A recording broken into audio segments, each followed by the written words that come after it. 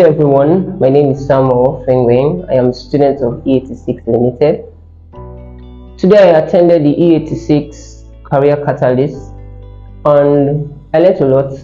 I learned how to apply for jobs online, on the use of social media to connect to people that will help you, the professionals you need to get your career actually going, how to be able to pose yourself, pose what you do, the content you make online to make people aware that you know what you do and how you can make money through it. Hi everyone, my name is David Planvo Dako, student of E86 Nigeria Limited. Today at the Career Catalyst seminar, I learned a lot. As a software engineer, I need to build relationship to connect to the world with people that will help me grow since I'm still undergoing my training and to be able to impact to the world is to show a relevance that after my training the, world will already know me and I will, I've already built that relationship and the background for me to be a better engineer.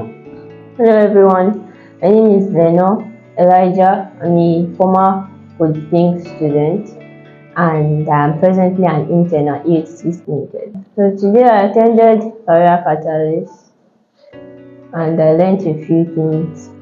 I learned how to make money from what I learned which is use social media to make myself known and also create CVs and write letters, very good letters, and also like get jobs and build myself and career. Today at E86 Career Catalyst, I learned something I want to share with you. Okay, they said a journey of a thousand miles begins with a step. So as a student undergoing internship or in school, whatsoever you're doing, don't just wait until you're done or you graduate before you go into and uh, like showcase what you're doing. Show the process, whatsoever you're doing, show the process, the journey you're taking for you to reach where you are. At least the world will see you and they'll be able to know the processes in which you, you, you took for you to reach that particular level and that stage that you are. And I believe the world, you can make the world a better place because you're already known even before you graduated. What do you have to say that? Okay, so today I learned that you should follow the people you want to be like Sure. and try to be like them, use them as a our goal, and also try our best to put ourselves out there and push ourselves to be greater. What do you have to say, Samuel?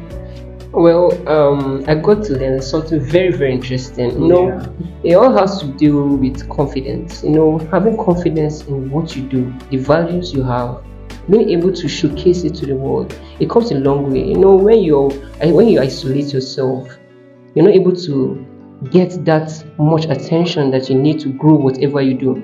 So you have to come back to your confidence, having confidence in your values, having confidence in what you do, and being able to pose it and let people know about it. Thank you. Bye. Thank you.